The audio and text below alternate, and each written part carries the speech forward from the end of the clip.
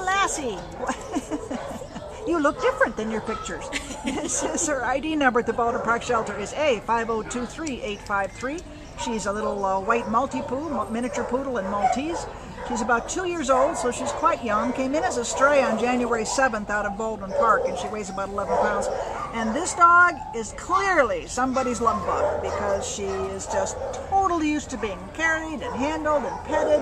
Uh, she did really well with the uh, our groomer. Just clipped her muzzle a little bit, and she was fine with that. She's obviously used to it.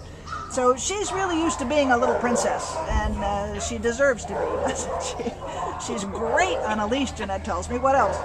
You know, she's going to make a great family dog or individual dog for anyone. She's just, I mean, you carry her around. She's Yeah. happy sitting on your lap or taking a little perfect. She is really beautiful, and what a perfect temperament. I, I'm just shocked that she was lost and not not found yet. You know, the seventh and today's the thirteenth. That's a, yeah. So, she you know she's available to some lucky person who who can come in and claim her because I can't believe her family hasn't found her yet. She even has a chip that.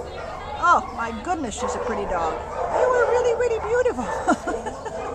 Look at that little coal black nose, and oh, you are a movie star. You deserve the name Lassie. You're a movie star. Please come on down and meet Lassie and get her out of here so she can be pampered once again. What a good girl.